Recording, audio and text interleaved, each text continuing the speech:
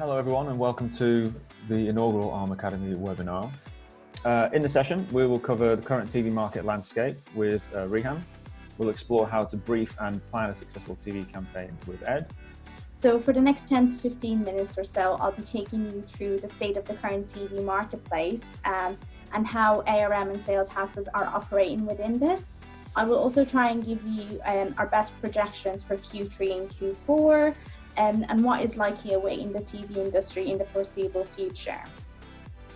And so I think we'd all agree that nowadays aren't what we call normal times. And as you may know, the entire TV advertising landscape is experiencing volatility across both its supply and its demand.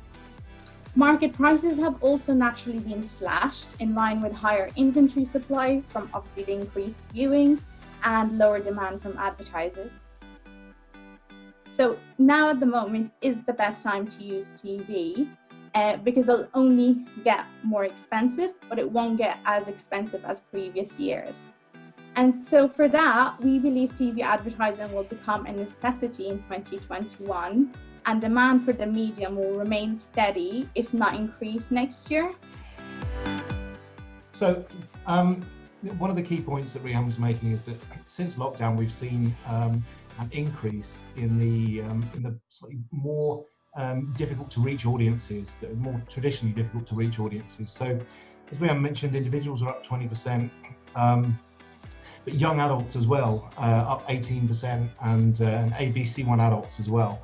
So, what we're really seeing is a, a change in the makeup of the, of the TV viewing audience, um, and that's throughout the day.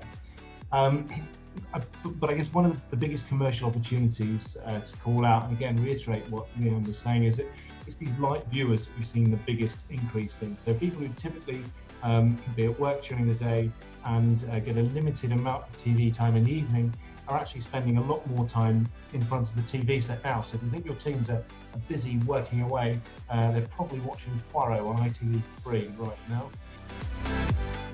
Pokemon Go as an example, um, 2016 was it really the year that marketing, uh, the marketing world changed? Uh, probably not. Everyone got very excited about Pokemon Go.